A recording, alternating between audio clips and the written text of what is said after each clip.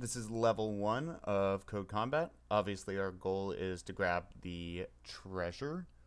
Continue. Oh, oh it's going to run anyways. Type in the code to the right. Continue. Great. So we need our hero over here. I've selected Alejandro. Personal favorite, but that's up to you. Um, to pick up this gem.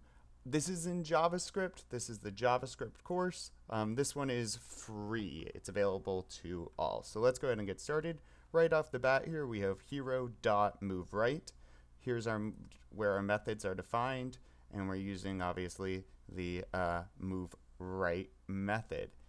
Oh wow, it's gonna walk me through here. Line six, type move down. I'm just gonna start typing, and you can go ahead and select um, this instead of having to type it all out.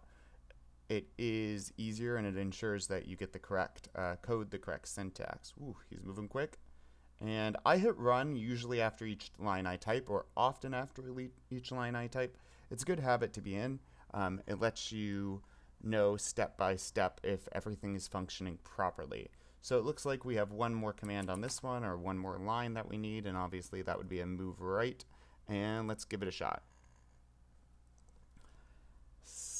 Success. Perfect. And that is our first level. Success. You have accomplished your goals. Click done. Excellent.